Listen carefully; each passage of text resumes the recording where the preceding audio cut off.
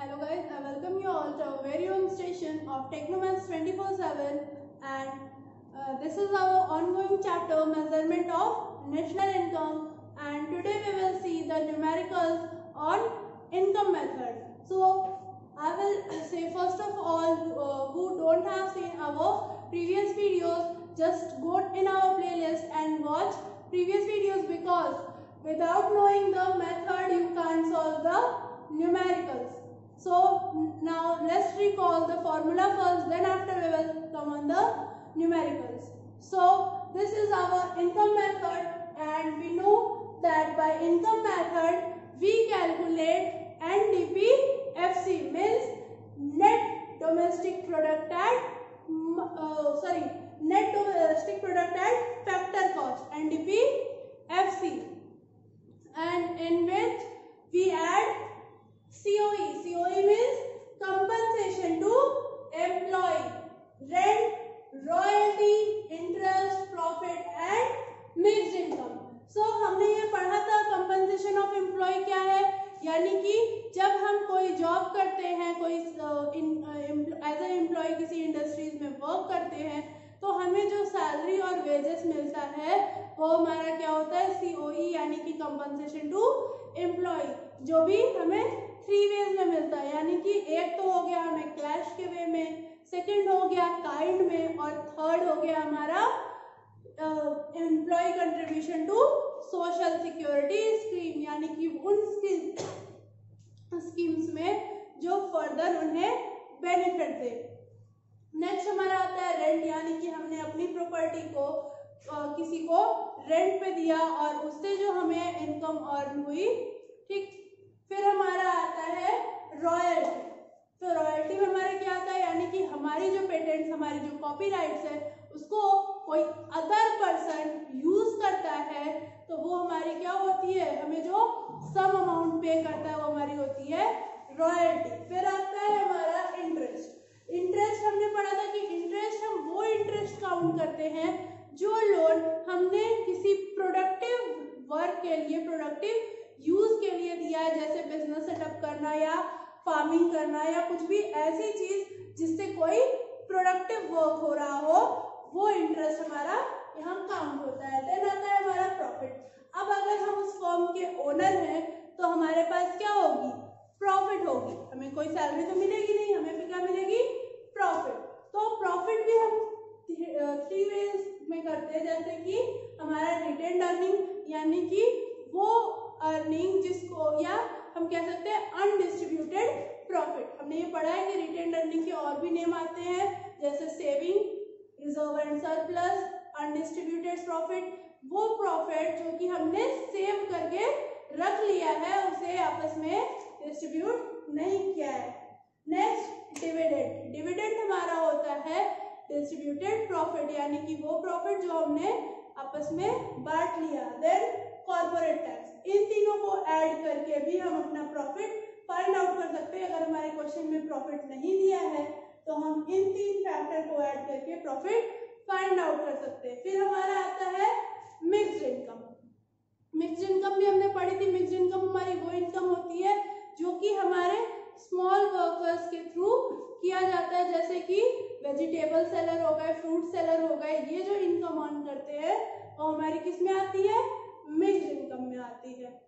सो so, ये था हमारा इनकम मेथड का फॉर्मूला जिससे कि हम एनडीपी एफसी फाइंड आउट करते हैं। लेकिन हमें फाइंड आउट क्या करना है?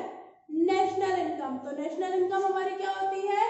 N N P F C mean net national product at factor cost so NNPFC find out करने के लिए हम क्या करेंगे? वापस से जाएँगे अपनी उस पुरानी फ़र्स्ट नेशनल इनकम की वीडियो पे जिसमें हमने क्या देखा था gross domestic net national so यहाँ पे हमें क्या करना है नेट टू नेट कुछ चेंज नहीं करना डोमेस्टिक टू नेशनल में कन्वर्ट करना है तो डोमेस्टिक टू नेशनल में कन्वर्ट करने के लिए हम क्या करते हैं plus N F I A यानी कि हम इस एनडीपीएफसी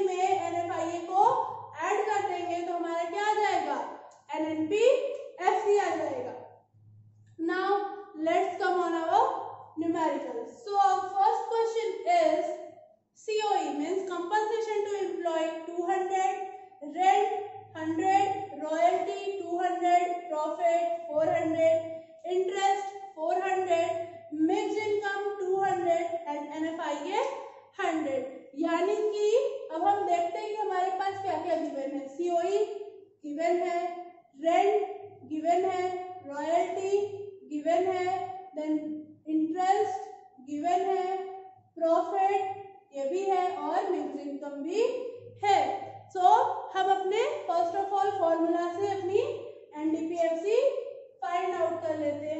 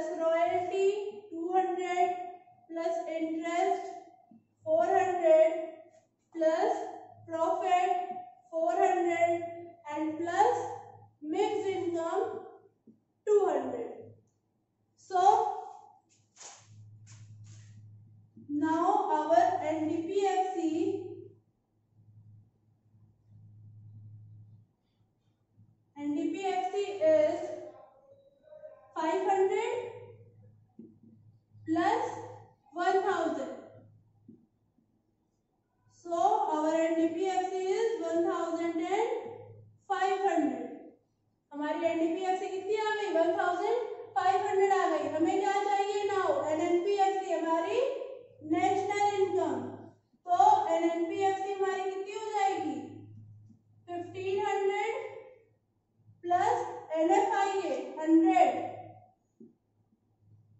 सो हमारी नेशनल इनकम कितनी हो गई? सिक्सटीन हंड्रेड हमारी एनआई यानी कि नेशनल इनकम कितनी हो गई? सिक्सटीन हंड्रेड हो गई. Now let's see one more question so now let's move towards our next question which is is hundred rent two hundred royalty 100 interest 200 mixed income 400 to 200 तो हमारे पास यहाँ पे सब चीज़ अवेलेबल है बट क्या नहीं है? तो हमारे पास प्रॉफिट नहीं है। तो अब इस प्रॉफिट को फाइंड आउट करने के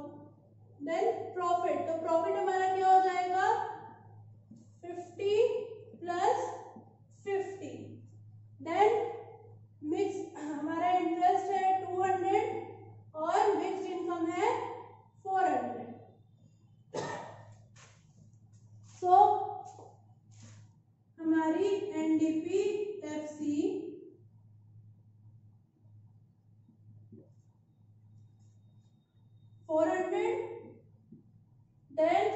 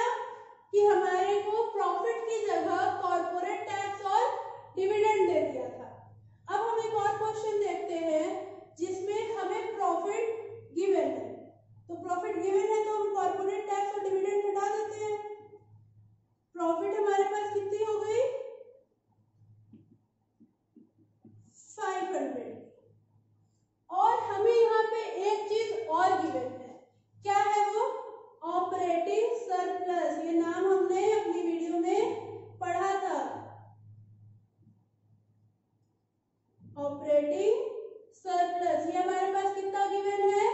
ये हमारे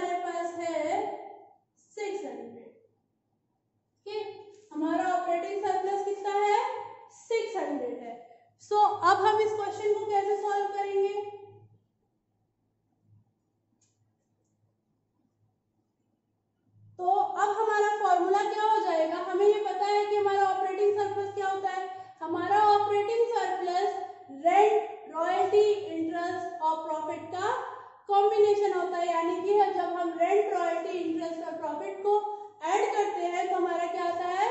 ऑपरेटिंग सरप्लस तो यहाँ पे हम क्या करेंगे? सीओई हंड्रेड ले लेंगे। Operating surplus